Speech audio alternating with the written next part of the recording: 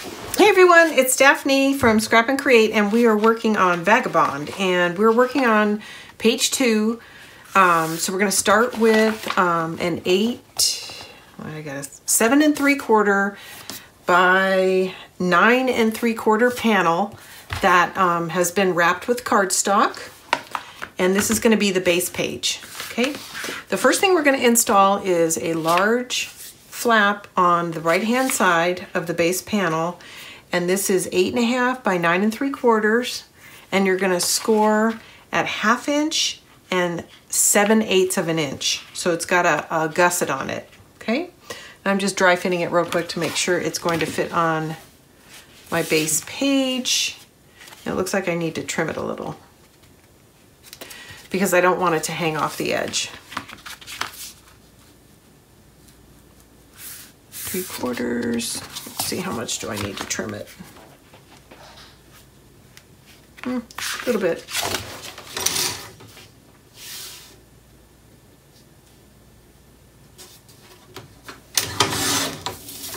Okay, I'll be right back. I gotta let my dog in. Okay, I'm back. Sorry about that. So I, I actually, the paper wasn't trimmed right. It should be eight and a half by uh, nine and three quarters. And again, you're gonna score twice. And it looked like I had only trimmed it out to nine and seven eighths. So should fit now. It does. Now we're gonna, there it is. Attach it to the right-hand side of your base uh, page, which is uh, covered chipboard.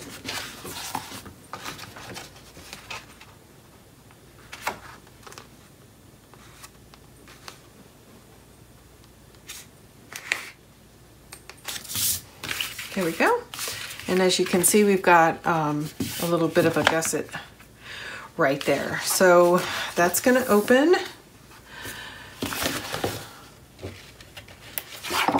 to the right. And now we are going to install some of the internal features.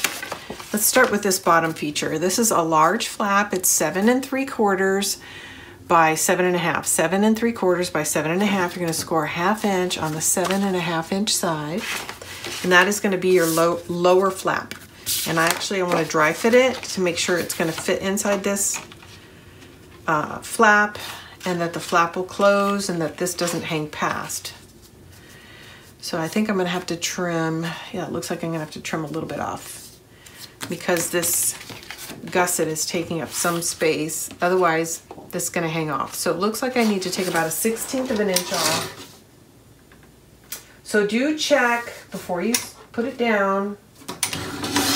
Um, rest it on there, close your flap, and then make sure that your uh, the flap that you're applying down here does not hang past the edge. So there's a little bit of extra trimming that goes along with this. That was not quite enough, a little bit more.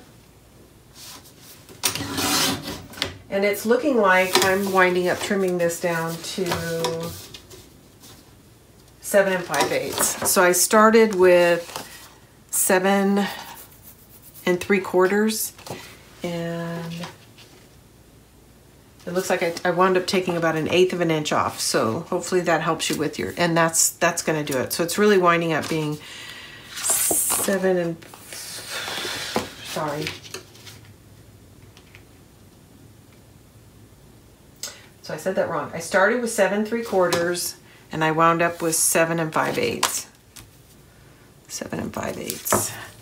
But I'm gonna have in the cut list seven and three quarters, so I want you guys to do that test because depending on where this hinge is, you may not need to trim that much off or you might need to trim a little more.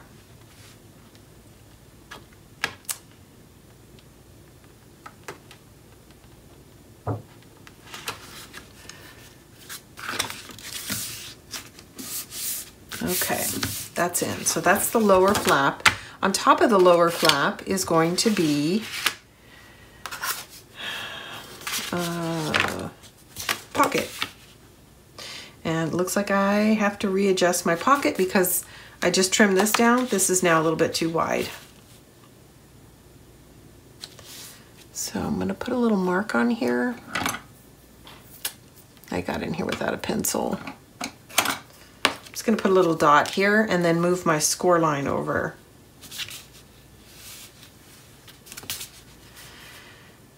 Not much, a little bit. Okay.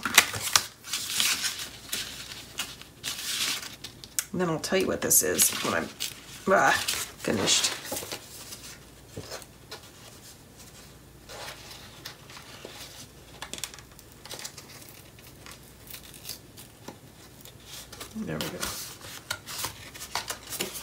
Okay. So, uh, you know what? I think I might want to start over. Yeah, I'm going to start over. So I'm going to show you how to how I'm going to do this. So let's just start with a clean sheet of paper. And it needs to be roughly eight and three quarters by four and a quarter, but we're going to trim it down just perfect in a second. Eight and three quarters, so, and then that's four and a quarter. Okay. So that's four and a quarter. We're gonna score down half inch, and then we're gonna do a half inch on this side. Okay. Now what I'm gonna do is I'm gonna fold this side in. I'm gonna use my bone folder to make it nice and crisp. Now I'm gonna lay it on top of the flap that I'm measuring it for. And then I'm going to put a little tick mark here and that's where I want my score line. And I don't have a pencil, so I'm just gonna use, I'm just gonna put a little indentation in the paper right here. And that's where we're gonna score it. And hopefully I can still see it. Yeah, I can. So I'm gonna line that little uh, indentation up with a score channel and score right there. And I'll tell you what it is when I'm done. Ooh, maybe. Having a hard time seeing. Yep, there it is. trim off my excess.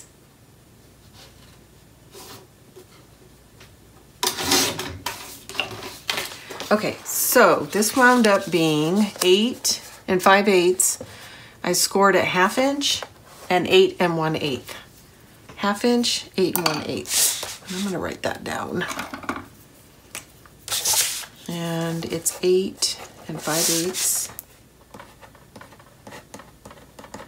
by four and a quarter. And you're gonna score at half inch and eight and one eighth.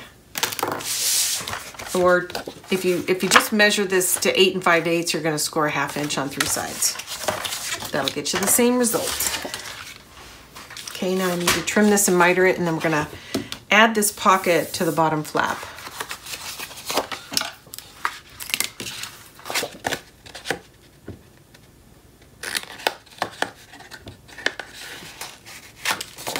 I am not used to um, doing this folio style with adding these large flaps that go over everything that have a gusset on them. So I'm definitely struggling um, with getting my measurements right because I'm so used to doing albums where everything is attaching. It's not closing up like a, sort of like a clamshell, so to speak. Anyway, it's, it's an adjustment. Okay, just doing a little housekeeping. Let's get our score tape on here.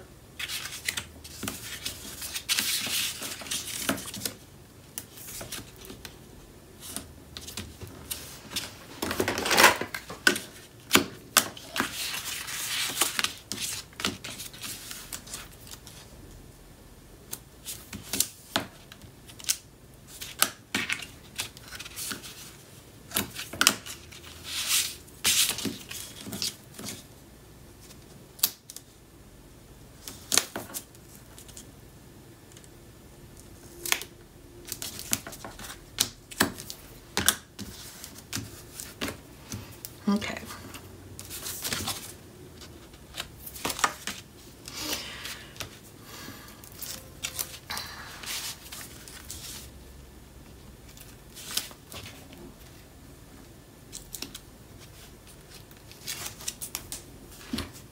I'm just gonna add a little bit of glue there and hold that flap down. Just a dot. Whoops.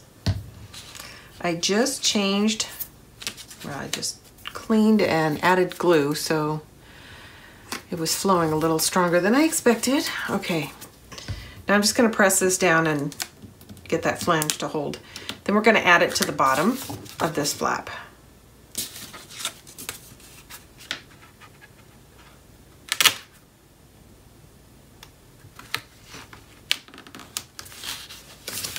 There we go. So now we have a pocket in this flap. And I have created um, these bifold cards with the cut aparts and they're actually gonna go into this pocket. So that's what this was designed for. And um, I just measured this and, um, and trimmed it out to fit specifically for this card. I can tell you the measurements, but you'll probably want to adjust it based on how your card looks. It's seven and a half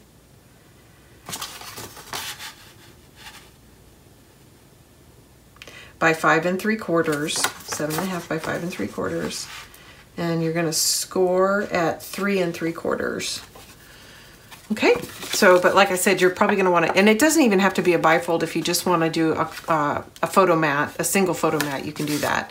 But I went ahead and um, did this on three of them, so the at least two of them will go in this pocket. Okay, so the next thing is the top down flap. And just like the bottom one, I'm probably gonna need to adjust this slightly. So we're gonna lay it in. We're gonna close and make sure it's not pushing the panel out. It looks like it is just a little, so I'm gonna go ahead and take a little bit. So I think it took about an eighth of an inch off and now it looks good. Okay, so it started at seven and three quarters by five, score half inch on the five inch side. And then I wound up trimming it down just a little bit. So it is seven and five eighths, seven and five eighths. I'm actually gonna adjust that. I think that's probably gonna be the standard.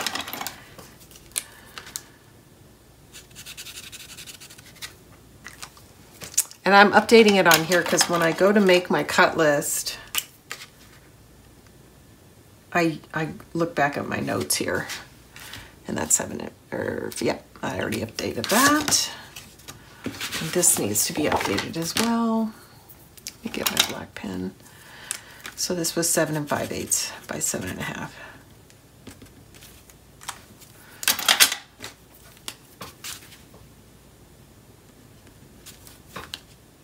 Okay. I should have tested this before I sat down today, but I'm just so far. sorry about that. But hopefully you guys got all that. The banners will not have both measurements. They'll have the adjusted measurement.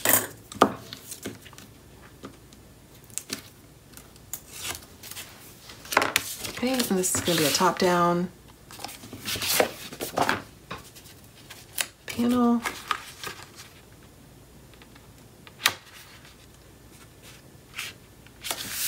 We go. Okay, so that is what this is gonna look like. And then we're not gonna use any magnets because that's gonna, these should hold it in place. We're gonna have a couple. At least I'm not planning to put a magnet in. I'm, I'm planning to use these, um, these inserts to hold everything in place, okay? So that's done. So now the last thing is we're gonna have um, two flaps on the inside. They're gonna go left and right, like so. And these are trimmed out to specifically to feature these items on the inside. So we're gonna go left and right, we're gonna go center.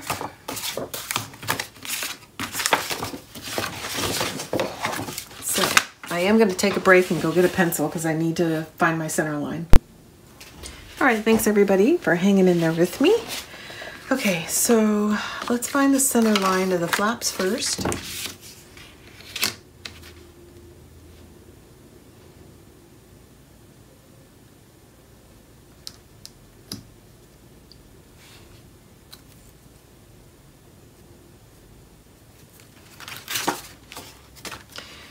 So it wound up being two and seven eighths from the top to the center, two and seven eighths. We've got that. I'm just gonna line the second one up off the first one.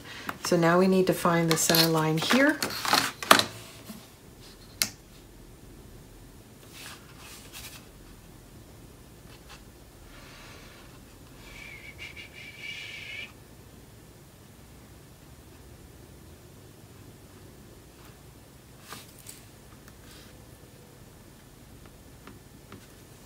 Okay.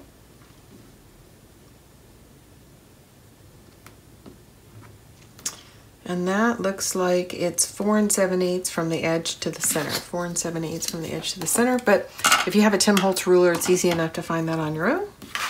Okay, we'll go ahead and add these flaps.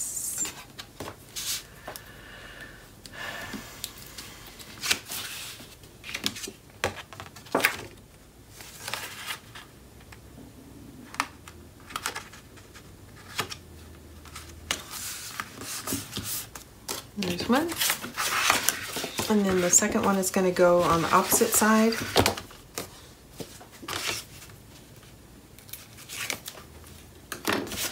And I'm going to line it up from, from this one here. So you want to make sure you, you're clear of your score line so that your top panel will close. Okay. There we go. All right. That looks good. I'm Just gonna close like that, like that. And then we will have um, these, and I might even put another insert in here, um, a larger one, maybe a taller one. So we'll see. But for now, uh, that's what I have. And if I do decide to add another insert, I will, I will put it in the cut list. And again, for now, I'm not planning on using any magnets here. We're gonna use inserts in the pocket to keep this closed. And that is page two. Thanks everybody for tuning in. This is Daphne from Scrap N Create. When we get back together, we're gonna decorate this. Hey everyone, um, we're continuing to work on page two, Lady Vagabond, and I've got my A sides trimmed out, so we're gonna get those put in, then I'll take a quick break and we'll line up the B sides. Um, I still haven't completely decided what I'm going to do with this top flap inside and out because I need to get through more of the book and see how much paper I have left. So for the time being, I am not going to decorate that flap, but I do have, like I said, the papers trimmed out for the A sides inside the book. So I'm going to do my best to tell you where the paper is coming from. This is coming from the 12 by 12 collection pack. And I'm to use this to help me visually get it centered. So again, this is from the 12 by 12 collection pack, uh, Lady Vagabond.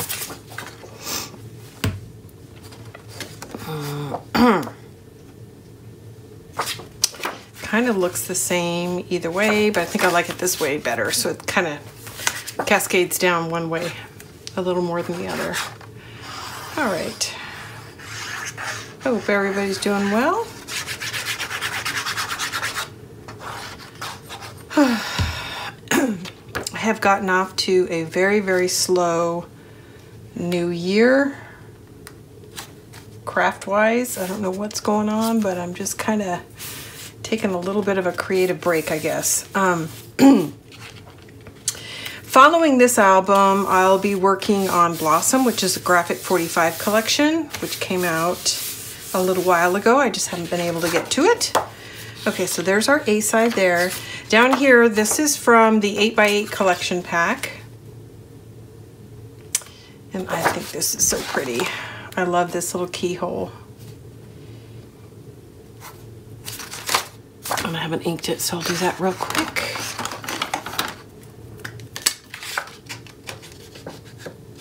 And you may recall that we don't have any magnets on this page. We're going to use pocket inserts to hold it closed.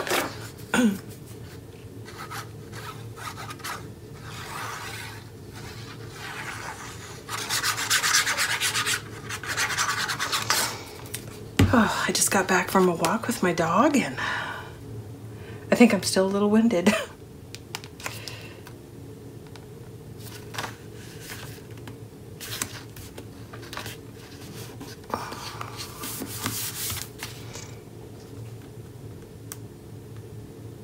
if you're new to the channel, take a minute to subscribe, hit that notification bell, and you'll be notified every time we have new content on our channel. Also, we do have a Facebook page, uh, Scrap N Create, where people go and share their projects. Um, and we welcome all projects. They don't have to be based on these, but we do ask that you uh, limit your projects um, to papers that we sell in our shop, um, which is Stamperia, Ciao Bella, and Graphic 45. Um, we appreciate that. And we are getting quite the following over there, and there is a lot of great content being provided by you guys. So um, even if you don't decide to subscribe, head over there and just take a look at what's going on. Uh, it's a group. Um, if you're interested in joining, just submit it, and I try to get to that at least once a day. Um, there's some great content out there. we have some really talented members. and some of them even have their own channels. Others, they just share on Facebook. So it's a little bit of a mixed bag there. Okay, oh, I forgot to tell you what's where that's from. And I think, yeah, it's from the 12 by 12 collection pack. Sorry about that. I should have told you that first. Okay. And then set these aside. This is from the 12 by 12 collection pack. and that's the flip side. And honestly, I was going back and forth about which side I liked better.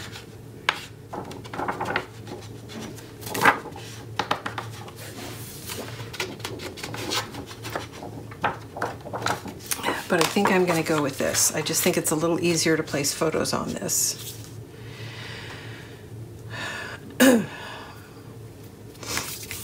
Although, having said that, let's let's figure out what we're doing on here, and that way we know what it's going to look like. So my plan was to use this one, which is from the calligraphy collection, and this one. I just thought they went together really well. So it is, this is the other option. Uh, so the again, these two squares are from calligraphy. Everything else up until now has been from Lady Vagabond. So that's what I'm gonna do. So based on this, then I'm gonna make a decision on how that's gonna look. So let's go ahead and get these installed.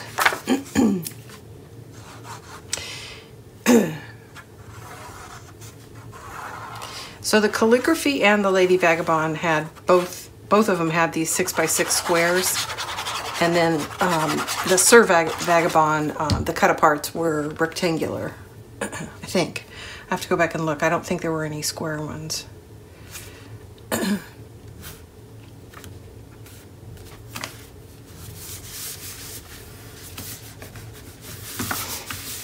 there we go.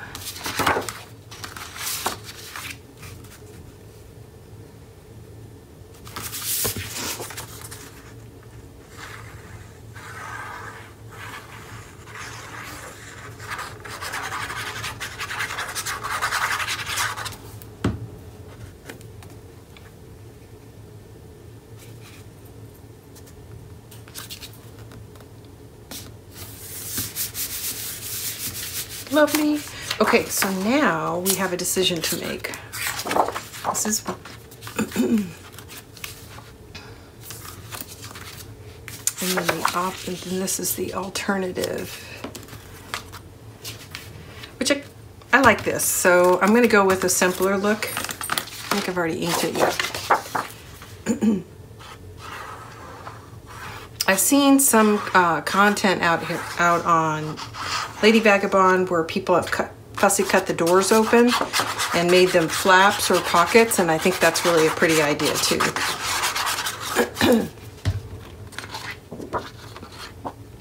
Again, this is from the 12 by 12. And then these two, these six by six flaps, well, they're not exactly six by six, but these two flaps are um, cut aparts from the 12 by 12 collection. there we go. Okay, so that is our A sides.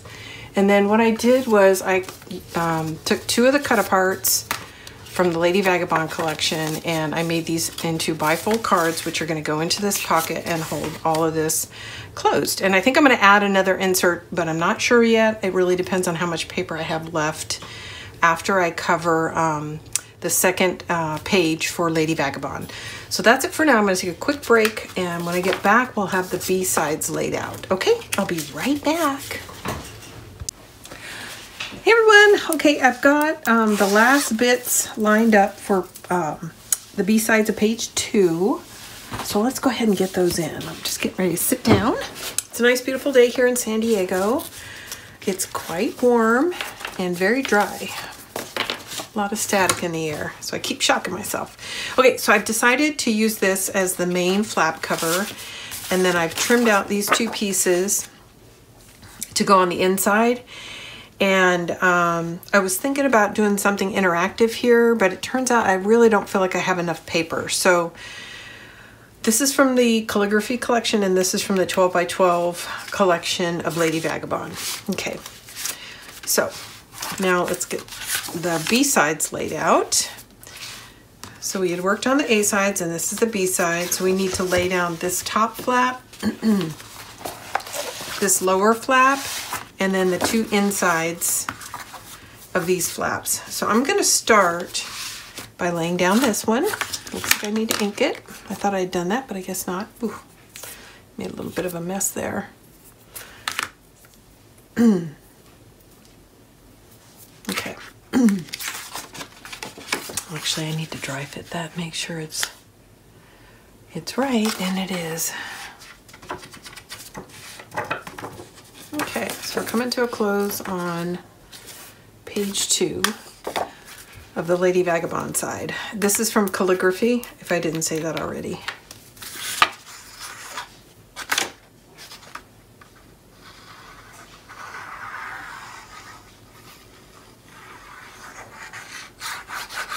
And if you're not crazy about the calligraphy, that's fine.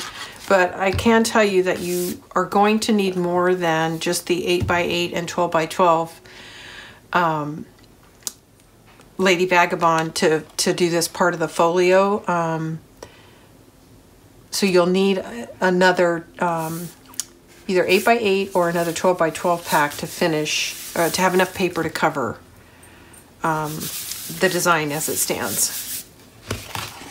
So you could get another um, Lady Vagabond or use some coordinating cardstock, something like that. Okay, let me get my ink out. Okay, and this is just a continuation of that 12 by 12 sheet from Calligraphy. Hey, Nola. My puppy came to visit me and she found something interesting in the carpet, so she's kind of digging around. Hey, stop that. So we got our walk in this morning. So hopefully she will give me a little bit of peace while we finish this up. When I open my window, there's just a little sunspot in the room and she likes to lay right there.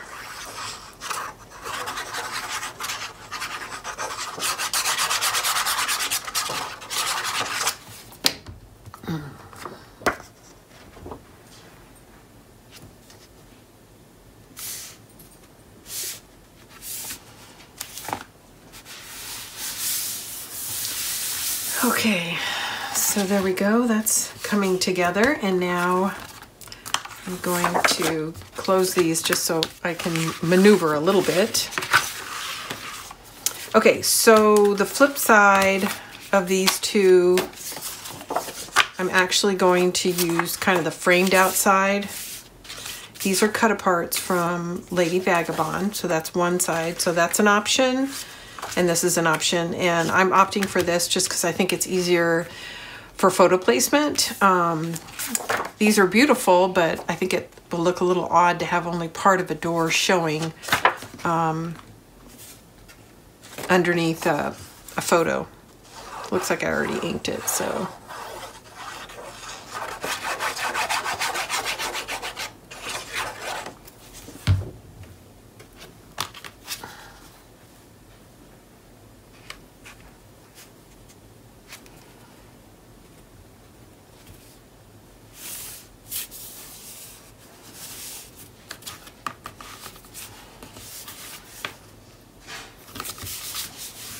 Okay, that looks good.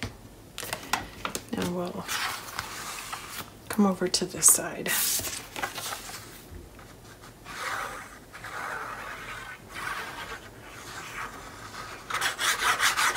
thanks everybody for being patient on this project. Um, it's a couple of things. One, I just uh, kind of got overwhelmed by the holidays and I've been catching up.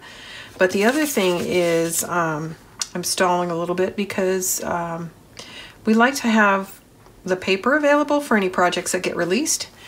And um, we've already sold out of this collection once, so we were waiting on our paper to get in. But by the time you see this, the paper will be available in uh, in our inventory. Okay, so I like the way that the ink bottle shows with the pins. I think that turned out nicely. This goes like this. And then of course we have these bifolds here. And then over here, we're going to add this and it needs to be trimmed to fit in the clock. Um, so basically I took the width of this page and just uh, split it in half and then cut these two off 12 by 12. So this is from the 12 by 12 Lady Vagabond collection. This is from the 12 by 12 um, calligraphy collection. and I think I'm going to have to trim just a sliver off, but I'm not sure. Let's double check. So it looks like they're the right width. But they need to I need to trim a strip out of the middle. Yeah.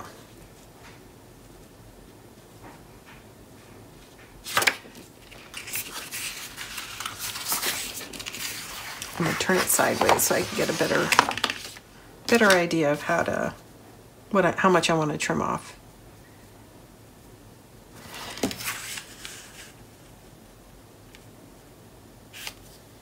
Now, because there's a lot of color on the bottom half and it's pretty light on the top half, it's kind of heavy toward the bottom. So I think I cut both of these. Yeah, both of these are five inches wide and this is nine and three quarters. So I need to trim off one of these. I can trim a little bit off both sides and keep it centered, or I can just trim off one, which is easier. And I'm gonna trim off the heavy colored one, and that'll just bring um, a little bit of the weight from the page down visually. So I'm gonna take all the extra off the lower one. So we're gonna go ahead and glue this one on, and then I'm gonna double check my measurement, and then I'm I need to ink that edge. And then I'm just gonna trim off the bottom one. So the bottom one will be a little bit smaller. The top one's five inches, the other, the bottom is trimmed to fit.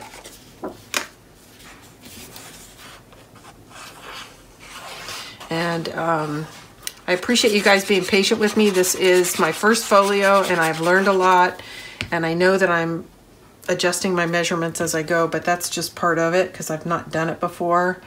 So you're getting experience right along with me. I know it can be frustrating, so please bring your patience to this project. And I'm gonna remind everybody of that in the walkthrough. Okay, now I'm just gonna set this in where I wanna see it. I'm gonna put a tick mark on either side and we're gonna trim it to fit.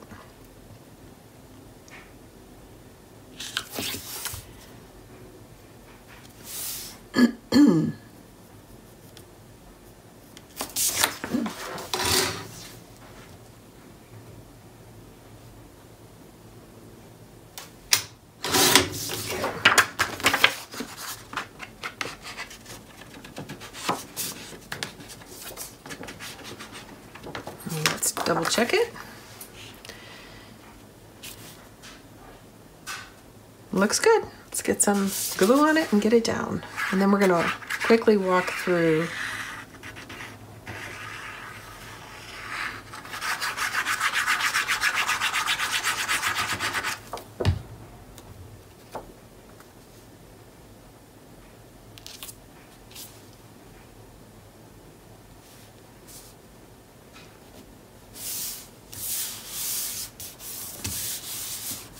Okay, very, very nice. okay, now one of the things that this collection had is this large, in the 12 by 12 it has this large fold out and I am going to insert it into this pocket. I went back and forth about whether or not to mount it on black cardstock and I've opted against it because I like the fact that it's lined on the inside and um, you can do your journaling on the inside. So I'm gonna leave it as is, just ink my edges and then put it inside the pocket. Of course you can trim it out and mat it on cardstock if you want, but I'm gonna leave it just like it is and then it's gonna go in this pocket. Okay, so that is it for page two. So let's go through it. Oh, no, it's not. We've got to still get this piece on. Sorry about that. So this is going to be the cover for the uh, page two.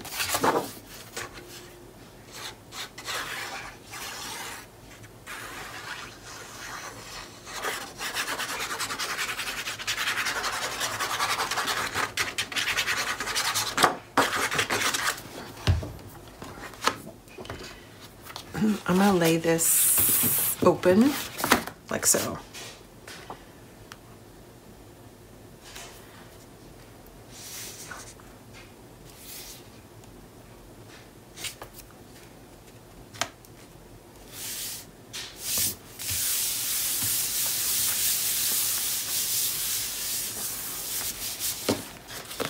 There we go.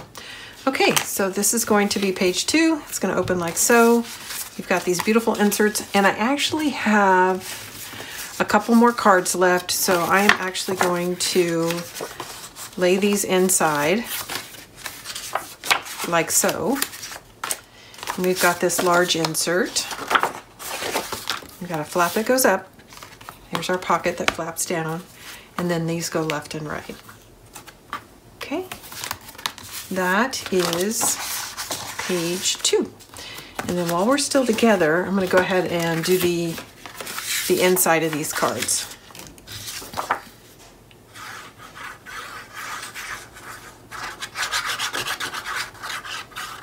I hadn't mounted them because I, I was thinking about using them in a waterfall, but I think I'm just gonna put them in the cards as the inside. There's one. And I had already inked these. So a lot of times the first thing I do is I go to my cut apart page, cut everything apart, ink it, um, because I want to consider those elements in my design um, and design around the size of the cut aparts. Um, and either have flaps that fit them or design elements like these cards. Okay, go ahead and open that up and add these inside like so that is page two. Thanks everybody for hanging with me. I know it's kind of an unusual project for me. Hopefully you're enjoying this and you're learning along with me. Um, and then I, I do want to point out that there's a pretty good size gusset here. And I did that because once you fill the pocket, you need it. But also, I'm anticipating that there's going to be photos in here too, which are going to create some additional bulk. So it may feel like it's a little bit too tall right now, but I think once you fill it up with your photos, um, it's still going to be able to close flat and not gap um, or have a slant to it. So that's it for page two. Um, the next time we get together, we're going to add page two or one and two to the actual book as well as decorate the cover. But right now I'm just going to set this aside. Thanks everybody for tuning in. Again, this is Daphne from Scrap N Create. See you soon.